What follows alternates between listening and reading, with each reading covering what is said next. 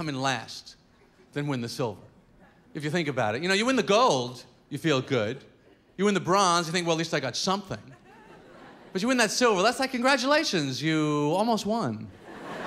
Of all the losers, you came in first of that group. You're the number one loser. No one lost ahead of you.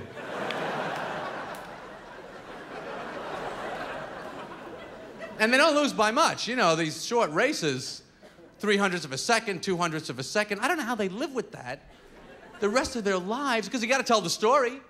Everyone wants to hear the story. Wow, congratulations, silver medal. Did you trip? Did you not hear the gun go off? Tell us what happened. It's a hundredth of a second. You know, people say, what was the difference in the, in the margin there? What was it? Well, it was like from now, it was like from now, now to now, now, now to now to now, now, now to now, now, now, now, now, now, now, eh, that was it. Eh, eh, was, oh. I trained, I worked out, I exercised my entire life. I never had a date, I never had a drink, I never had a beer. I was doing push ups since I was a fetus. I flew halfway around the world. Everybody I knew in my whole life was there. The guy shut off the gun. And, oh.